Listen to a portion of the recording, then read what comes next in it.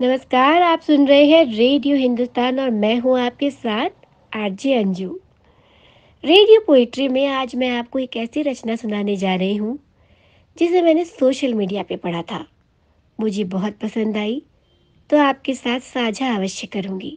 लेकिन उससे पहले एक शेर हो जाए। नश्तर की तरह बात न रख, नश्तर की तरह बात न रख सामने मेरे।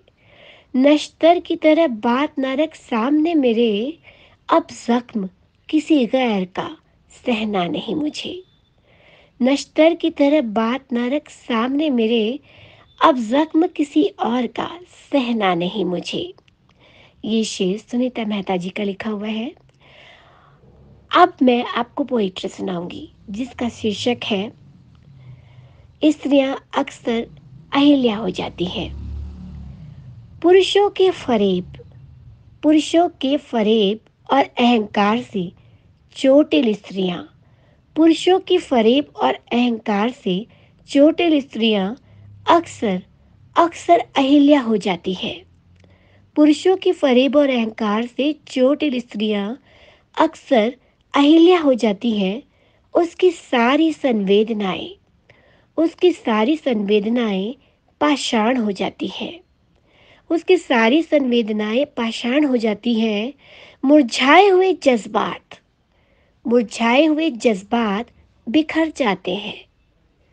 मुरझाए हुए जज्बात बिखर जाते हैं रास्ते पर, पत्थरों की शक्ल में। मुरझाए हुए जज्बात बिखर जाते हैं रास्ते पर, पत्थरों की शक्ल में। फिर न उसमें फूक पाते हैं प्राण, फिर ना उसमें फूक पाते हैं प्राण, प्रेम के पुष्प कभी, और न पिघला पाती है। मनुहार, दुलार और प्यार जैसे एहसासों की कर्माहट, और न पिघला पाती है मनुहार, दुलार और प्यार जैसे एहसासों की गर्माहट वो विरक्त हो जाती है। वो विरक्त हो जाती है प्रेम के आकर्षण से सदा के लिए।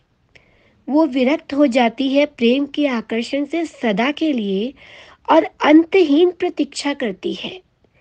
और अंतहीन प्रतीक्षा करती है अपने हृदय के देहरी पर। और अंतहीन प्रतीक्षा करती है अपने हृदय के देहरी पर किसी राघव के पदचाप की। और अंतहीन प्रतीक्षा करती है अपने हृदय की देहरी पर किसी राघव के पदचाप की। तो इसी के साथ मैं लूँगी अनुमति। फिर से रेडियो पोइट्री में एक नई रचना लेकर आपके सामने उपस्थित हो जाऊँगी। लेकिन तब तक के लिए पानी बचाइए, सबको सिखाइए, पेड़ लगाइए, सबको सिखाइए। नमस्कार।